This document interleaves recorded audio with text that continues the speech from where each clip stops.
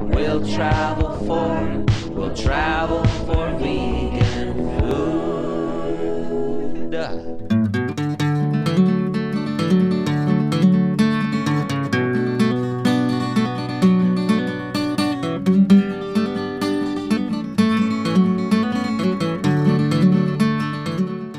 We founded it because we knew that we wanted to, if we were going to raise our child vegan, which we were, um, we wanted him to also be raised with vegan peers and in a community. So that first um, time we got together was at our house. like six families, or I think, showed up for the first potluck, Right. and then it just grew from there, and it grew relatively quickly. I mean, it's, before we knew it, there were probably 20 families in it, and now I think it's what 60 some or something.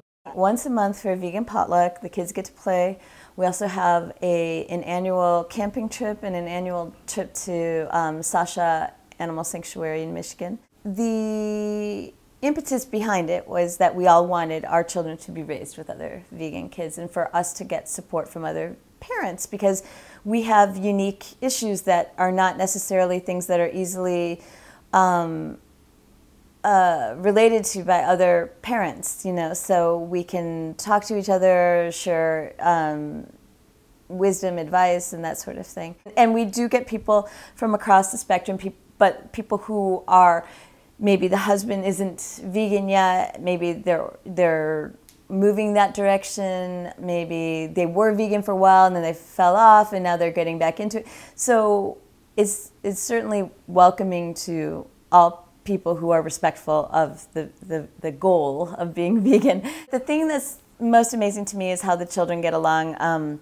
Never there's fight. never been a fight. They um, we can sometimes like for our Halloween potluck, um, we we get uh, sometimes like 60, I think we had, 70 like 60 people in our people in this bungalow in Chicago, and um, the kids really get along. And another thing about the CVFN that makes it special is that the children can celebrate holidays and and other traditions that regular kids get to celebrate. So, like for our Halloween potluck, The little trick or treat. yeah, we we spook the house up. You know, we make seasonal trees. So our kids who often don't see these things at um, you know regular Well, they see restaurants. everybody else you know, having these yeah. things that they can't do. So to me, it's it's exciting to to be able to give the children that that opportunity.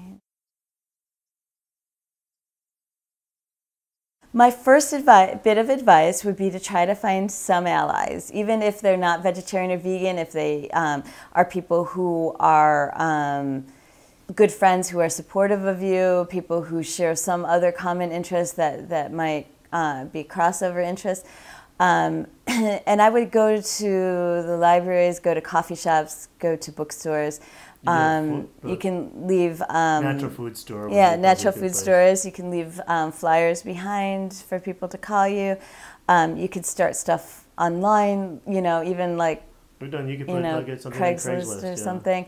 Um, but I, the first thing I would do is just like I think the first thought people have is no, that would never work where I live. There's no other vegans. There's no other vegetarians even.